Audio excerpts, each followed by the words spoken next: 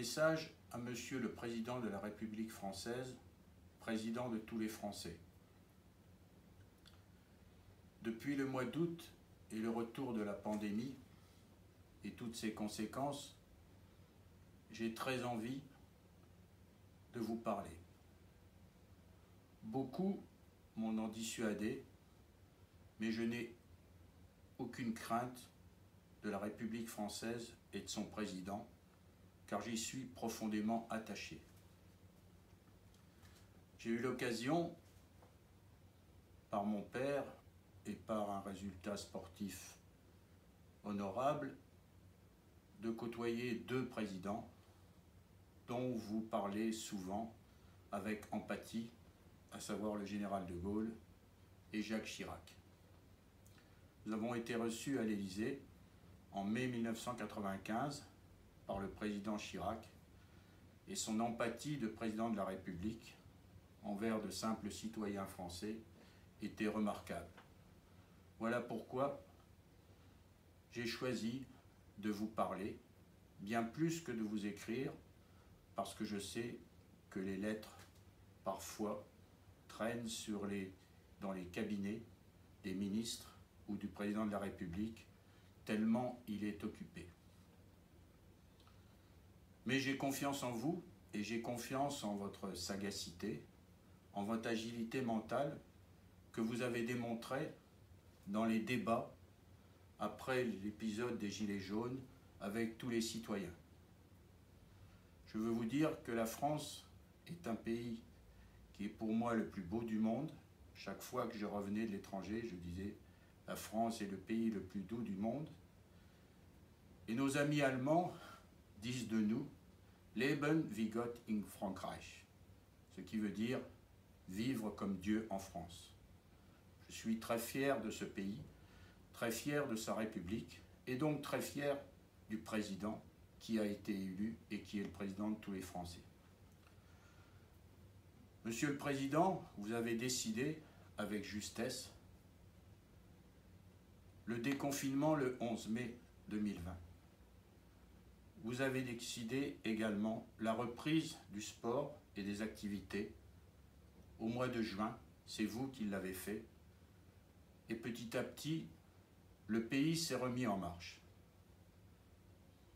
Certes, aujourd'hui, le virus, parce que le pays s'est remis en marche, circule. Je ne veux pas faire de discussion médicale, je n'en ai pas les aptitudes ni les capacités, mais le fait que vous ayez mis le pays en marche fait que ce virus circule comme circule le virus de la grippe ou comme circulent d'autres virus. Aujourd'hui, le monde des associations sportives, 91 fédérations, 71 fédérations olympiques agréées par l'État, signifiées d'utilité publique, ce qui montre notre responsabilité par rapport au service de l'État, nous sommes arrêtés. Seul le sport professionnel a le droit de pouvoir s'exprimer dans les salles. Je veux plaider la cause du sport amateur. D'abord, le sport amateur, Monsieur le Président, c'est celui qui fait exister le sport professionnel. Certes, le sport professionnel et les équipes de France font briller les yeux des enfants. Mais l'ensemble de tous les licenciés du monde du sport et du monde du handball sont indispensables à la vie de la société.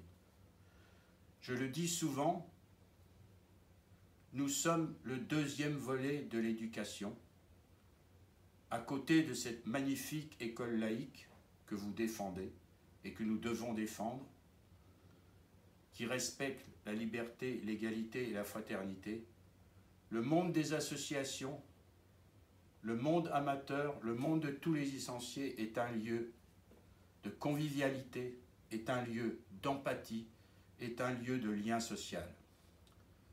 Certes, le sport, c'est la santé, mais ce n'est pas seulement la santé, c'est aussi la santé mentale. Si nous ne faisons pas du sport, ou surtout si nous ne nous retrouvons pas autour du jeu, autour de l'activité physique, alors nous ne sommes pas bien sur le plan moral. Or, pour pouvoir gagner contre ce virus, gagner contre cette pandémie qui existe, il faut que nous ayons le moral. Il faut que nous soyons heureux. Je vous assure que l'ensemble des sportifs, amateurs comme professionnels, sont parfaitement respectueux de toutes les instructions que vous donnez actuellement sur les règles d'hygiène, sur les gestes barrières, qui sont pour moi des règles d'hygiène, et sur tous les protocoles pour pouvoir mettre en place notre activité. Je pense que l'intérêt de toute la société est que nous puissions reprendre, après une période peut-être plus dure encore que celle de maintenant, mais que le jour où vous donnez votre feu vert, Monsieur le Président, nous puissions vraiment repartir avec l'ensemble des citoyens et des citoyennes autour de nos activités sportives. C'est un besoin, le lien social est quelque chose de fort, et le sport n'a de sens que s'il est pratiqué avec les autres. Gagner un match, être champion du monde, n'a de sens que parce que c'est un partage, y compris un partage avec l'adversaire.